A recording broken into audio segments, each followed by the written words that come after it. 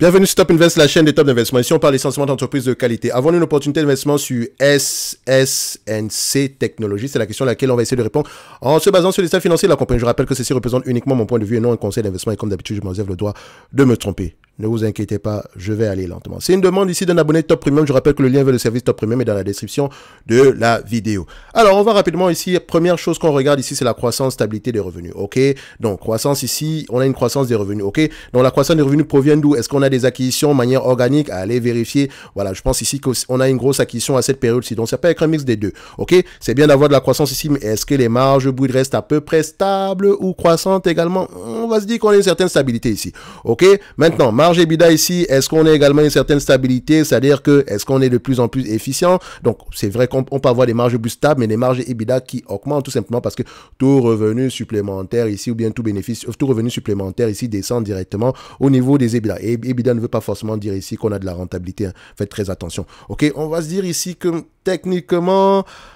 En moyen, on a une stabilité, mais voilà, depuis à peu près 2022 ici, on a un ralentissement. Donc, qu'est-ce qui s'est passé à cette période-ci? Est-ce qu'on a une acquisition qu'on a eu à effectuer ici qui, qui a, euh, qui, euh, qui a un effet négatif sur les marges, il faut aller vérifier ça ici. Et est-ce que c'est durable? Ok? Maintenant, je compare les net income et les free cash flow. Est-ce que les net income ici et les free cash flow parlent le même langage? Très important que les, il est très important que les deux aillent dans le même sens. Ici, on voit que free cash flow est plus élevé que net income. Parfait. Maintenant, en termes de, de dette, est-ce que la dette nette sur EBITDA ici, enfin, le, niveau de dette nette sur EBITDA ici est, est inférieur à 5 euh, oui, 3.6, très très bien. Maintenant, le nombre d'actions, est-ce que le nombre d'actions augmente ou diminue?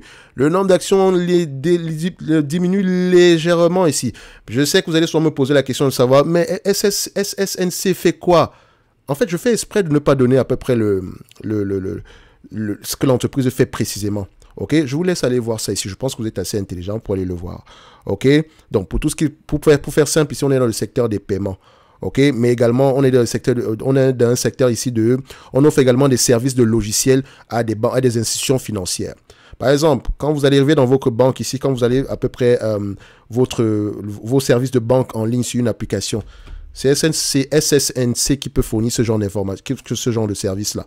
OK Donc, vous comprenez déjà ici que la consolidation des banques aux États-Unis peut être un, inconvénient pour elles. Mais aux États-Unis, il y a à peu près 3000 banques différentes ici. Donc dites-vous qu'il y a encore des parts de marché à prendre derrière. Et encore, ce sont des entreprises ici qui ont eu tendance à faire beaucoup d'acquisitions dans un secteur en particulier. Le segment ici des, des POS, pour des pour à peu près faire à peu près euh, pour à peu près faire dans du voilà euh, pour à peu près prendre également leur part euh, récupérer des parts de marché ici dans le secteur des paiements pas les paiements, physiques bien sûr. Ok, donc c'est à peu près un mini Worldlines également. Ok, et vous allez remarquer que SSNC a, adopté cette stratégie-là, Fiserv a adopté cette stratégie-là, FIS également. Trois concurrents. Hein. Trois concurrents. Je vous laisse aller voir ça. Bon, SSNC. Tout est beau. Maintenant, en termes de prévision ici, les analystes s'attendent à quoi? Est-ce qu'on est optimiste? Est-ce qu'on est pessimiste? Hmm, On voit qu'il y a un certain, un certain pessimisme sur les dernières années. Maintenant, pourquoi? Ok, faut toujours aller vérifier ça. Et même avec ce pessimisme-là, et quand, attention, quand on parle de pessimisme ici, calmez-vous. Les prévisions ont tendance à diminuer. Donc, calmez-vous. Dans le but ici est d'acheter une compagnie ici pour moins que ce qu'elle ne vaut réellement. OK? Donc, on va avoir tendance ici à rester assez équilibré. En termes de net income, de, net income ici ajusté, on s'attend à peu près à des marges autour de 23-22%. Donc, vous voyez déjà ici comme le business, on s'attend à peu près à générer du 5,77$ ici pour les années à venir. OK. Maintenant, je passe ici sur, euh, j'espère que ça va fonctionner. Euh, donc Realty Income. Je ne sais pas pourquoi Fastgraph me fait chier aujourd'hui, excusez-moi du terme, mais voilà, c'est depuis un certain temps Fastgraph, c'est assez compliqué. Bref, on revient ici, juste pour regarder ça rapidement, SSNC. Alors, je sais que vous recherchez beaucoup sur Realty Income. Dites-moi en commentaire, qu'est-ce que vous voulez voir sur Realty Income Parce que je ne comprends pas. On a déjà parlé de cette compagnie-là, et je remarque que c'est une vidéo qui fonctionne très très bien. Mais dites-moi pourquoi est-ce que cette, compagnie-là vous intéresse? Qu'est-ce que vous aimeriez savoir précisément en commentaire? Qu'est-ce qui vous échappe sur Realty Income? Ok? Peut-être qu'on pourra faire une vidéo un peu plus approfondi, mais quand je dis un peu plus, on en a déjà fait précédemment ici, d'accord? Mais c'était plus du terme dans le sens où j'avais lu les rapports financiers, voilà, écouté les conférences que je vous avais dit à peu près ce que je pensais de la compagnie. Mais peut-être qu'on pourrait regarder la stratégie, ce genre de choses-là. Dites-moi en commentaire si ça vous intéresse dans tous les cas de figure.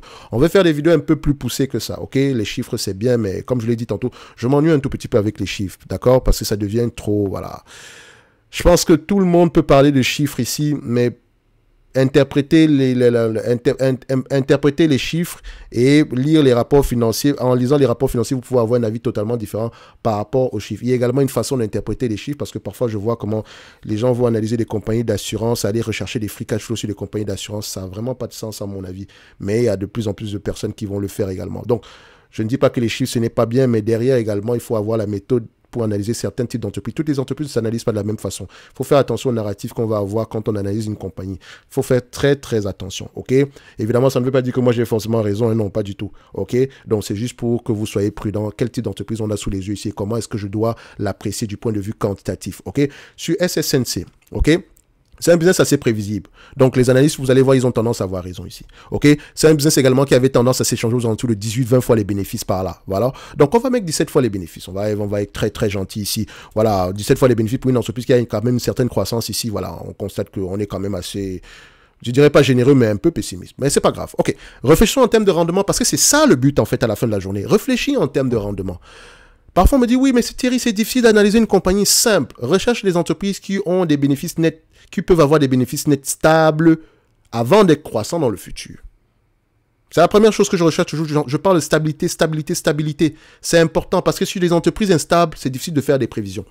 C'est pas que c'est les pour, pour, les entreprises pour les entreprises stables, il faut à peu près utiliser voilà un, un peu plus de sécurité. Par exemple, on va regarder les actifs nets, etc. Ok? So ici par exemple, voilà un business. On te dit ceci.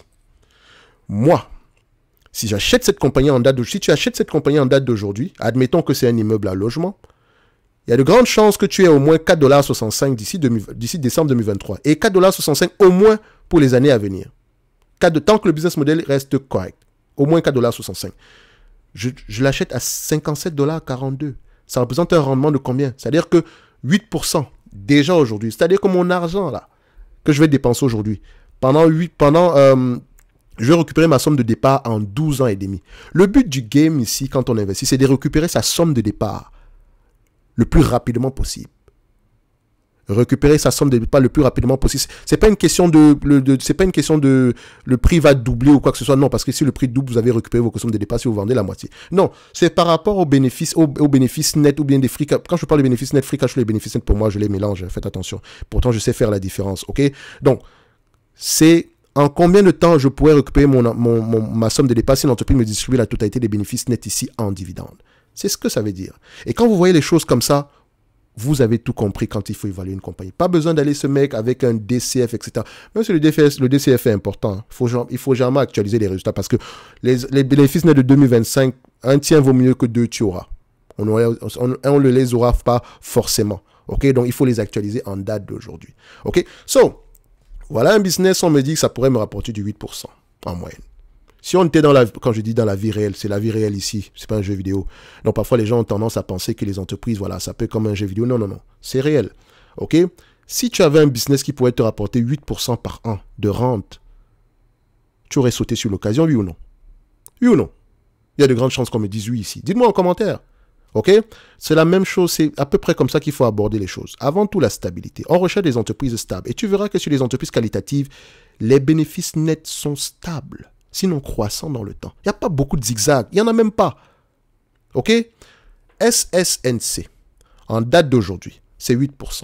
Et on me dit que si tout se passe bien, on pourrait atteindre du 5,85%. 5,85 dollars ici. il y a de grandes chances que ce soit le cas, parce que le business est prévisible. D'ici 2025. Hmm, intéressant, n'est-ce pas? Ça représente 10% de rendement à cette période-là. OK? Et on a vu que les, les cash sont plus élevés que les net income. Et là, moi, je suis manqué au niveau des net income. Donc, je suis manqué assez gentil. Donc, c'est un business qui a tendance à se négocier à 17 fois les bénéfices. Et évidemment, il y a une certaine dette. Extrapolons un, un, tout petit peu. À 25 fois les bénéfices, à 17 fois les bénéfices, si on sera à peu près à 5, à 5 dollars euh, d'ici 2025, on sera à peu près à 99 dollars l'action. Disons 100 dollars. Hein, on va arrondir. On ne cherche pas à avoir précisément raison, on va avoir le moins tort possible. Maintenant, on enlève la dette nette ici. Le 100 dollars ici, moi, la dette nette en date d'aujourd'hui, la dette nette actuelle. Évidemment, ici, il faudrait regarder ici l'échéancier de la dette, etc., les covenants, etc., ok? Parce que la dette n'est pas faite pour être remboursée instantanément, mais nous, on la prend en dette d'aujourd'hui. Parce que si on doit l'acheter dans le prix de vente ici, il faut qu'on inclue l'impact de la dette. OK? So, maintenant, 25 dollars de dette nette, moins 100 dollars, moins 100 dollars de prix, le prix actuel, la, valorisation d'ici 2025 17 fois les bénéfices. OK? Ça représente ici au total, on arrive à avoir quelque chose aux alentours ici de voilà, on aura à peu près, voilà, si on enlève le 25 dollars ici, on aura à peu près 75 dollars. OK? 75 dollars. C'est tout. Donc, si on a 75 dollars ici, et comme demande de payer 65, en prenant en considération la dette, on peut déjà voir ici qu'il y a de grandes chances que cette compagnie-ci soit sous-évaluée. Mais maintenant, dans cette sous-évaluation-là, quel est le piège derrière? C'est quoi la raison de la sous-évaluation? Ça peut être exagéré, comme ça peut être complètement euh, la sous-évaluation ici peut être complètement normale. Donc, c'est-à-dire que peut-être qu'on s'attend à ce que l'entreprise ait de moins en moins de bénéfices nets dans le futur, ou bien le business model est balbutiant. Moi, je pense que c'est exagéré. Et ce n'est que mon avis. Parce que j'ai eu à lire sur des concurrents ici, et je pense que c'est exagéré. OK? Mais maintenant, ça, c'est moi. D'accord? Allez lire vous-même vos rapports financiers et tirez vous-même vos propres conclusions. OK? Pour moi, SSNC, ça pourrait être intéressant au prix actuel. Maintenant, il faut lire les rapports financiers et voir si le business vous branche. OK? Sinon, nous ici, on va se donner rendez-vous sur la prochaine vidéo. N'oubliez pas le lien vers le service Top Premium est dans la description de la vidéo. Et je rappelle que dans ce service, vous pouvez demander des analyses quantitatives. Chaque mois, je présente deux notes d'analyse sur les entreprises qui, moi, me semblent correctement évaluées, euh, euh, pas correctement évaluées, sous-évaluées, ainsi que les notes de suivi des entreprises précédentes.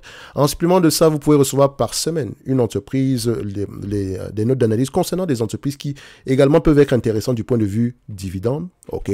Également avec la lecture des rapports financiers, des coûts des conférences call. OK. Donc, à peu près, vous avez six entreprises par semaine, par mois, généralement ici. En supplément de ça, vous avez, deux, vous avez à peu près deux formations possibles ici, inclus dans le prix, parce que techniquement, je n'aime pas, c'est pas gratuit parce que c'est inclus dans le prix. Donc, comment lire les rapports financiers, comment écouter, comment lire les rapports financiers, comment euh, analyser une banque. Je sais que vous aimez généralement les compagnies bancaires. Enfin, parfois les gens ont peur des compagnies bancaires tout simplement parce qu'ils savent pas les analyser. OK? Et je sais également que certaines détiennent des compagnies bancaires, mais uniquement parce qu'ils sont basés sur les dividendes et ils sont parfois surpris des mauvais résultats. Bref, apprends à lire les rapports financiers, apprendre à lire, apprendre à analyser les banques, c'est également très important. Ok, ça fait partie des formations thématiques qu'on aura à mettre également en place, parce que je pense que dépendamment du secteur d'activité ici, le raisonnement doit parfois être différent du point de vue chiffre, du point de vue analyse. Toutes les entreprises ne vont pas s'analyser en regardant les free cash flow. D'accord? Donc, on va se donner rendez-vous sur la prochaine vidéo d'ici là, portez-vous bien. Portez-vous bien. Merci.